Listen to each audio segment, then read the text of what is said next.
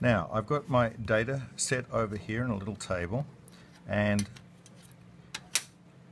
I've sort of put this, set this up inconveniently because it would have been better if we're plotting ordered pairs to put my horizontal axis on this side and my vertical axis on the other, but it doesn't really matter.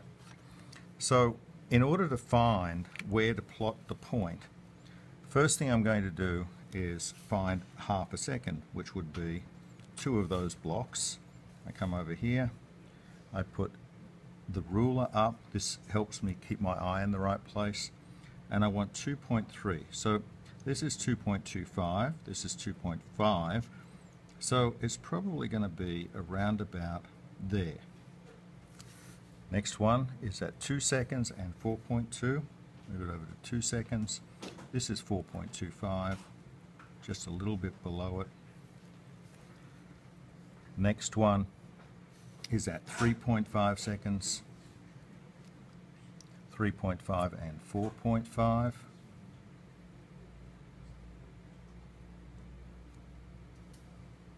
3.5 and 4.5. Um, next one is at 5 seconds and 6, 5 and 6. Um, the next one is at 6 and 8.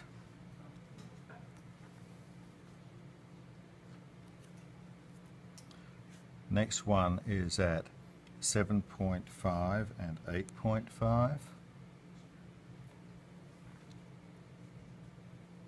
8.5, oh I made a mistake here. That one should be up there and this one should be up here. Uh, 8.5 is over here, 7.5, 8.5, and I want 9 and 9.5, which is going to be over here.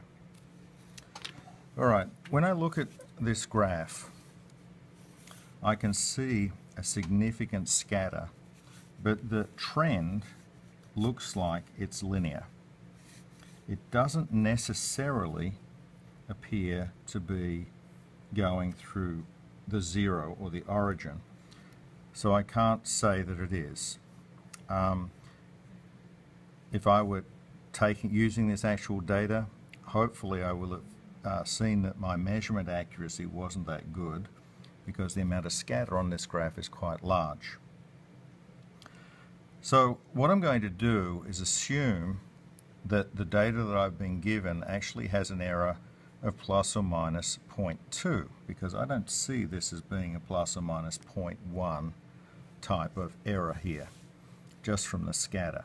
So I'm just going to make that plus or minus 0.2 on both axes. I'm going to now draw in the error bars. 0.2 or 0.25 let's say is one block. I think that's a reasonable number to make this and I'll make that 0.25 that way, 0.25 that way,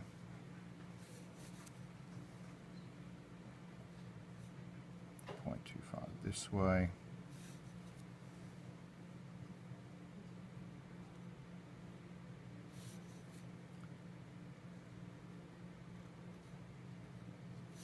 And even at 0.25, it looks like I'm not going to get a um, nice line of best fit through here because I really, when I'm looking for a line of best fit, want to see the line go through all of the um, all of the points.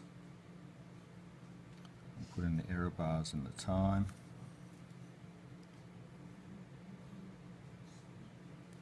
Here.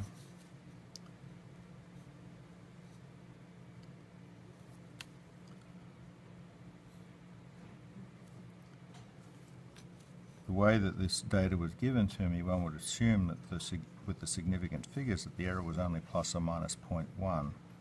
But assuming that it's supposed to be somewhat linear, it's clear from the scatter that the error is something bigger than that, which is why I'm showing it.